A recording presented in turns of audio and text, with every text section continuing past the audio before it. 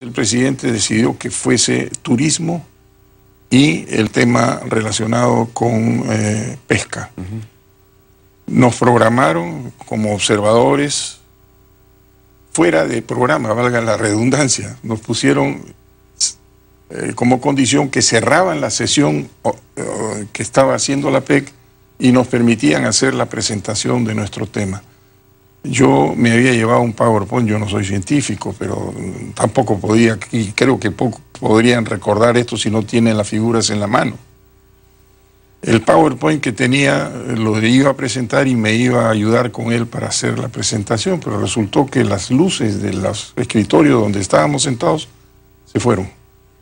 Y me crearon un problema porque yo no había memorizado todo, no tenía cómo memorizar la cantidad enorme de datos que tenía en la mano. ¿Tú estabas parado delante de cuántas personas? en ese momento habían 19. Ya, y querían escuchar la posición, del Perú con respecto a la APEC. ¿Por, qué, por, qué, te querías entrar? Que tú querías sustentar ¿Qué, importancia, qué importancia puede tener el Perú en el tema. y cuando estás a punto de comenzar, se, apaga, la luz y te quedas sin PowerPoint. sin PowerPoint. Pero en esa época teníamos el tema del terrorismo.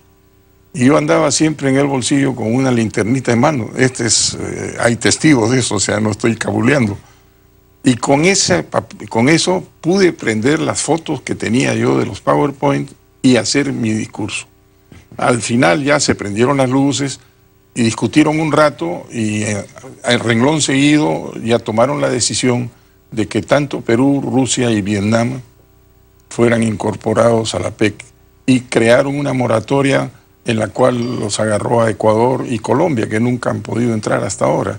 O sea que a, pesar del apagón misterioso, tú pudiste sustentar la posición. No, pero fue misterioso, porque no sabes qué pasó. No sé qué pasó. Es un misterio entonces hasta ahora. así bueno, estás revelando que pasó eso hace décadas, pero tú lograste hacer la presentación. Hice la presentación. ¿Qué impacto tuvo la misma? Muy fuerte. ¿Por qué? Porque dijeron que cómo era posible que un país como el Perú, que tenía la capacidad pesquera que tenía, no fuera miembro de la PEC si manejaban los mayores recursos del área, inclusive mayores que los de la China.